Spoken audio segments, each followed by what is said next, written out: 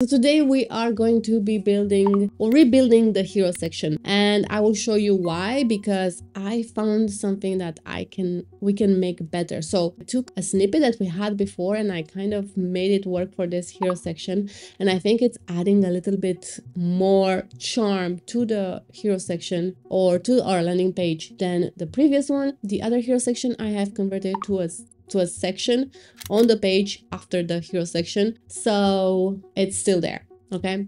That effect is still there. So this is kind of a stacking effect and i think it's really amazing because right away off the bat as you scroll the page you get an idea of what the website is about so or the landing page is about which is the most important thing right? Otherwise what's the point of having such a landing page. And as usual, all the codes and everything also from previous parts will be in the description below. Everything will be linked, so you if you need references, you can reference back. So let's get into it. All right, so I'm gonna go in the backend of my Elementor hosting first of all because I want to go to performance because I want to go to security and if you know how to do this, great, you can do this with a plugin. But in Elementor hosting, you have the option to limit traffic by country. And here it says allow all okay? So let's see what we can do. Allow all countries okay? Block selected countries. So i'm gonna go to block a few countries. No shade. I'm just going whatever country okay? I love all countries so do not take it personally. We have andorra croatia and cyprus blocked okay? So these countries will not have access to our website. I think this is a great feature especially if you don't want like, totally you don't want traffic from countries that you just don't want the traffic for whatever reason your reason is valid okay? So let's go to site management. And if you want to transfer the website let's say that you are working on this website for a client you can go and start the transfer okay? And you can see here where do you want to transfer your site? To myself or to a client? So if you go to client you can input their their email here. They will receive a notification and then they will be able to go through the steps to get the site on their name. All right? So to myself for example if you want to transfer it to yourself go to continue. And this is where you have the transfer wizard taking you through the steps on how to do it okay? So this is also an option. I'm showing you what's possible because maybe you're curious right and you don't want to get into elementor hosting before you have some facts about it so i think these are very boring facts but facts that at some point will become important uh, depending on what you want to do and set up your website to do in the backend. You can also delete the content if you want, and that it means that you will start over with a fresh site and the default settings. All right, so you can also delete the website that, but the data will completely be gone as it says there, and you will uh, just have a new website slot for another website if you want to build something else on this subscription all right so yeah that's fantastic. So you can also go to logs to see all the logs that you have uh, received here. For example access logs. This feature is currently in uh, beta so we will see what comes of that. But as you can see i have received some error logs here. So you can download this information clear it refresh it whatever uh, maybe forward it to your IT department if you have one or someone who is knowledgeable on that and you can you know try to understand what has happened. As I said, these are just the boring facts that are sometimes so important and we do not find information online about this because everyone is going for the shiny facts about a product. So let's get into today's effect. Let's get going, okay? So this used to be the hero section. I will leave a link in the description below for the video where I was building this. There was an additional body text here, but I removed it before filming this video. So let's get into adding the the first part of the hero section okay i don't want to keep you too long and i don't want to make this longer than it's necessary okay so let's get right into it so first of all let's add a container so i'm gonna go here so i'm gonna add a container drag the container in here I'm gonna set this to be full width as always, you know that. That's the practice here.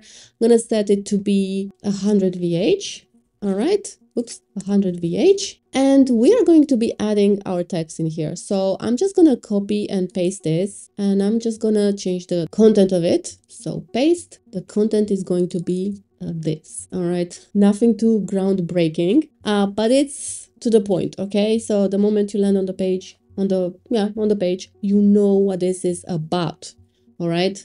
So I'm gonna set this to be an H1, obviously. I already set this to be an H2, so we don't have two H2, H1s on the page, all right? So as you can see, if I hover over it, it already has some overflow. We're gonna fix this, but what I wanna do is go and add two classes on the hero section that we have just created. So go to advanced, go to CSS classes and drop these two classes, hero and pinned. Okay, there are two separate classes and these classes will be added in the, code. All right. So if you want to change this, you have to go through the code and change it. I will not recommend it because if you miss one, it's not going to work. Just saying as a precaution. All right. So that is pretty much it. Okay. For the hero section, let's say one thing I want to do is just set this uh, text to be in the middle of the container. Just justify the content content in the middle okay let's set the the size of this heading to be custom 70 all right and the line itself uh, let me publish and i think we are, are good here all right we have the classes set everything is fine all right, so I'm to add another container. And what I'm to do is I'm to duplicate this one, duplicate, yes. And we already have a heading in here. So I'm to have to add another container. Yeah, we're to have two containers in this one. I know it's a little bit, it sounds like it's a lot, but it's not. You will see what I mean. So here we are going to add a different content yeah so this is what we want to have. And let's go to style. Let's go to see yes this is absolutely okay.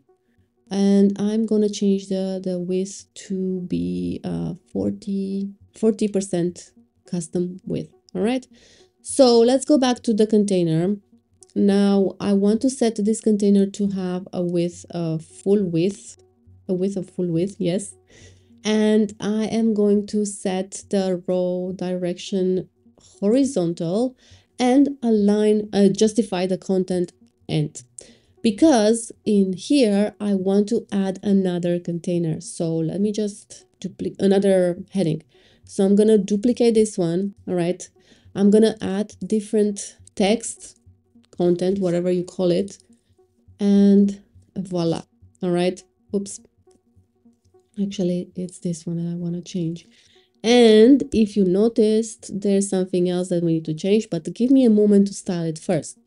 So this is going to be inter and it's going to be 300 weight and as well it's going to be uh point 1.3 in size and lots of ends.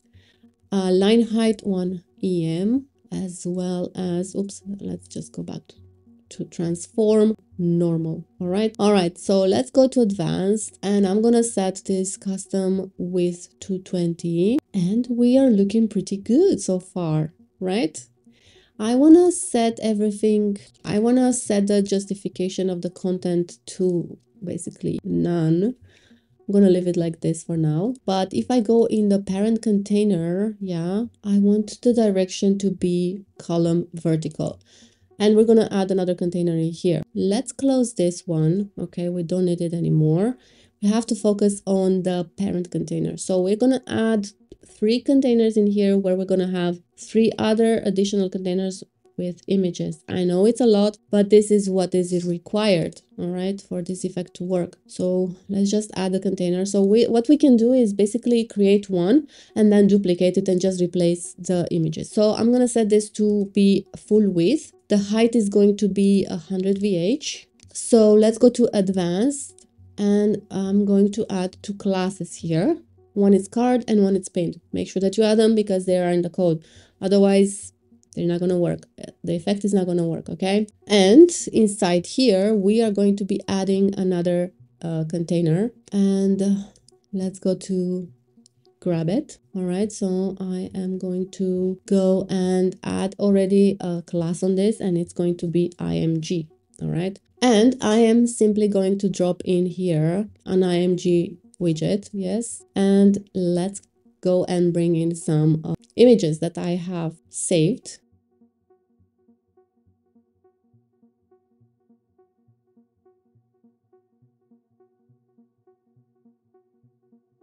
So go to the section and add the CSS class right here. All right.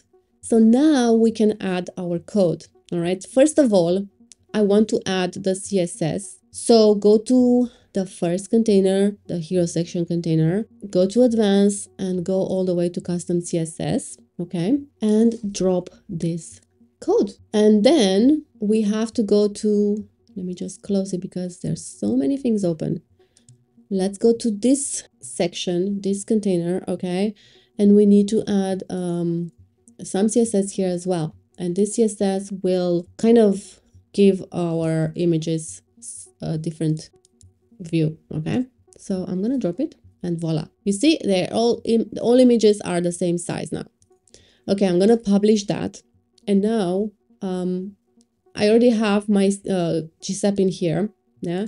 So this is the part that we have in. So this is it here. Right. I will have this as a separate snippet if you want it as a separate snippet. Just make sure that you add this as a hero section and only as a hero section. Otherwise, it doesn't work in another way. Yeah. At least the way I did it. So now we could have a look. I'm not sure I finished all, but let's just have a look. Yes, I want to do something with this. All right, so let's make sure that we have everything set properly, okay? So if you go to the heading, this needs to be an H1, okay? And let's go to the container itself. Let's go to layout, advanced, additional options, and set the overflow hidden, yeah? And the section HTML tag and the HTML tag as section, okay? Then let's go to uh, the uh, other container that we have created and let's go over this additional options as well we have the overflow hidden as well and you might see that I have done something here. And I was just playing a little bit uh, off camera here. I think it's going to be an interesting effect. So if you go to the container where we have these two headings and go to advanced, go all the way to motion effects, and turn on the scrolling effects to on. And I have transparency and blur edited here. So uh, set to fade out the transparency to 10 and 50% to 0 viewport or 0% to 50% and then the blur fade out to 7 and 53 but you can set it to 50 whatever just whatever you want and 0% and that's about it Let's just go a little bit to layout again. No, I want to go to the heading here because uh, we copy paste it and I want to make sure that it's not an H1 because otherwise it's not going to work properly. The effect as it's an H2, all right? And then our other heading is set to a P, okay? So I set it to a P instead of H1. Again, we remember we duplicated and all that. And let's go again to the parent container. Let's see if we have any classes here. We don't have a class. We don't have a class on this one either. Let me just close it. But we have classes on the containers that hold image container. Okay. So if you go to the advanced, you go see that we have card pinned two classes. Okay. And we have three of the same containers and they all have the same class okay if we go to the additional options here the additional options uh, HTML uh, tag for each of these are sections, yeah, or section. And then if you go to the child container of this, you go to additional options, there's nothing else, all right? If you go to image, the image is styled, it's set to 100 max width and height 100% and cover as object fit. And we don't have any classes here, but we have a class on the container that is holding our image, which is an, uh, an IMG. okay, class. All right, so if we go to the parent container and we go all the way to advanced custom CSS, you see that we have set here some CSS as well as in the uh, parent in the container on the hero section, hero pinned, okay? So uh, we also have a little bit of CSS here. I'm gonna publish. I cleaned up a little bit, yeah, because it was just too much uh, unneeded information. And we can go to preview. Hopefully this works, okay? Let's see. I think it's pretty cool. Yeah. You can even make the images even bigger than this. Yeah. Also, let me just go a little bit. I added something else on the heading. Yeah, it's some more CSS. This CSS is transition zero seconds. All right, so I think that's about it. And as you can see, it's working pretty well. Yeah, we have this effect as well. Pretty cool. We can actually remove this or move it up here somewhere. Yeah. Yeah, maybe even here. We're going to do that at some point. Not now. And then voila, let's see what we have so far. I think it's pretty okay. We're to add some more animation here.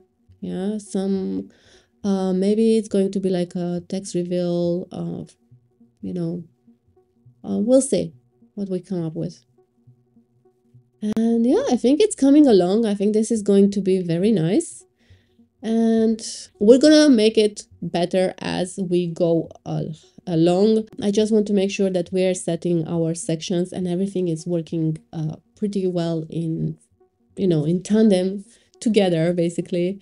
Because we have quite a lot of code. If i go to the um to the code here you see you, you see we already have so much code. So so much code yeah for just a few effects actually every section except for one uh, has GSAP on. And I have to make sure that everything is working as well as possible together, you know. But yeah, so that concludes number four.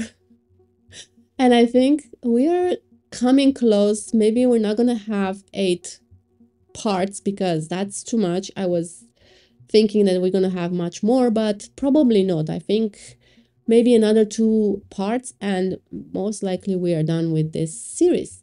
And then this template will be downloadable. It's going to be mobile optimized. Of course, not all the effects will work on mobile because not everything should work on mobile uh, when it comes to GSAP. Some things need to be just on desktop. Otherwise, you are going to mess up the user experience on mobile. And of course, that's not what you want, right? All right, so until next time, I hope you enjoy this and I will leave it in the description below the snippet that I used for this specific effect. But keep in mind that this only works on the hero section. This needs to be the first element on your page. Otherwise, it's not going to work. It has not been optimized for other sections on the um, website. This is a drawback of these effects. You need to work them on specific sections, otherwise they're not going to work. Or if you have or know someone who knows GSAP or coding to help you to implement them on other sections on the website. All right, that's it for now. I will see you in the next one. If you'd like to see what else you can build with Elementor, watch this playlist here or here. And if you have gotten any value out of this video, please consider subscribing, liking, and sharing this video, and I'll see you next time.